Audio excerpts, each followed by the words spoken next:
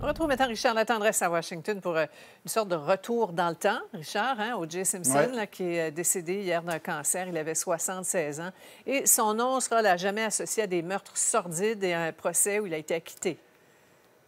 Voilà. Oh, que ça ne nous rajeunit pas, hein, Sophie, parce que tous les deux, à ce moment-là, nous étions dans la salle de rédaction à suivre tout ça de très près. Retournons en 1994. O.J. Simpson était une immense vedette de football notamment avec les Bills de Buffalo. Il avait connu aussi une belle carrière jusqu'à ce moment-là euh, dans le monde du cinéma.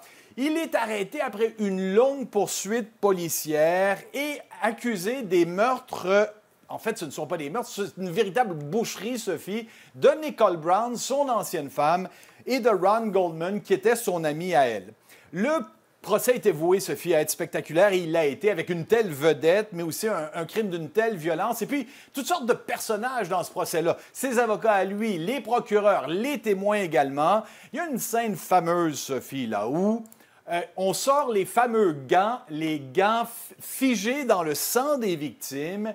Et euh, O.J. Simpson, on le voit en cours, essayer de mettre ces gants-là, montrer, c'est une scène mémorable, il montre que ces gants-là ne lui faisaient pas. Regardez bien, c'est une scène qui marque le monde judiciaire, mais aussi le monde de la télé. Ses mains n'entrent pas correctement, ce qui a fait dire à son principal avocat à l'époque, Johnny Cochran, que le jury n'avait d'autre choix. Encore une fois, il faut le voir, il faut la voir cette scène-là parce qu'il va nous montrer à quel point il était incapable de les mettre correctement, ces gants-là. Johnny Cochran qui dit que le jury n'avait d'autre choix que de l'acquitter.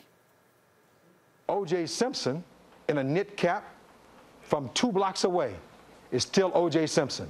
It's no disguise. It's no disguise. It makes no sense. It doesn't fit.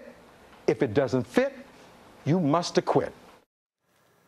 Il a été acquitté effectivement, Sophie, sauf que l'histoire l'a suivi. Deux ans plus tard, au civil, il a été reconnu responsable de la mort de ces deux victimes-là, de Brown et de Goldman, condamné à payer 33 millions de dollars à leur famille, ce qu'il n'a jamais fait. Ouais. on a tendance à, l'oublier, mais la, poursuite en, auto suivie du haut des airs en hélicoptère, Richard, ça a plus ou moins donné naissance à la télé en direct. Sophie, effectivement, parce qu'en réalité, ça a été suivi par des dizaines de millions d'Américains. À un certain moment, on estime que 100 millions de téléspectateurs se sont arrêtés pour voir ce qui se passait exactement sur la route. Euh, ce fameux Ford Bronco blanc d'O.J. Simpson, suivi par des dizaines d'autopatrouilles, il a fini par se rendre. Et puis, il y a eu ce procès donc qui s'est mis en branle. Lorsque le verdict a été rendu, Sophie, là, le pays s'est littéralement arrêté. Les appels téléphoniques ont chuté de 58 Sophie. Les vols dans les aéroports étaient arrêtés, étaient retardés que les gens puissent regarder ce, euh, cet aboutissement du procès sur les écrans. Ce qu'on avait compris, Sophie, c'est que, encore une fois, les États-Unis étaient déchirés parce que la population blanche a été sidérée par cette décision, donc son acquittement, alors que de son côté, la population noire, elle, célébrait. Est-ce que toute cette affaire, c'est ça, faire sortir, sont les perceptions profondément différentes de la justice entre noirs et blancs aux États-Unis?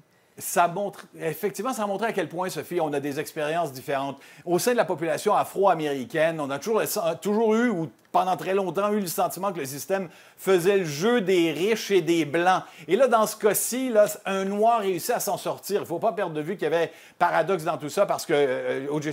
Simpson, était particulièrement riche. Mais juste vous dire, Sophie, qu'au départ, 63% des blancs disaient qu'il était coupable contre seulement 22% L'écart s'est un peu rétréci, mais il est toujours présent et ça vous montre encore une autre de ces fameuses divisions au sein de la société américaine. Voilà. Merci beaucoup, Richard. À lundi.